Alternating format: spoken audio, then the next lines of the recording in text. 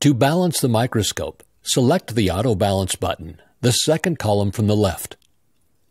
Holding the microscope with both hand grips, release the brakes and maneuver the microscope out until the bubble on the screen locates the lower right corner of the bright blue field.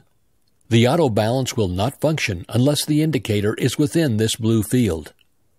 Select from the three auto balance options.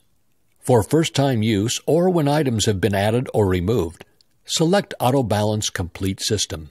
If items have shifted or the tilt of the microscope was changed, select Auto Balance Microscope. To rebalance with a drape attached, select Compensation Drape. To balance using the mouthpiece, select Mouth Switch Fine Adjustment.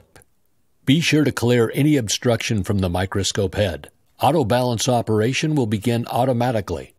If the microscope head encounters any obstruction, an error message will appear and you will need to restart the balancing procedure.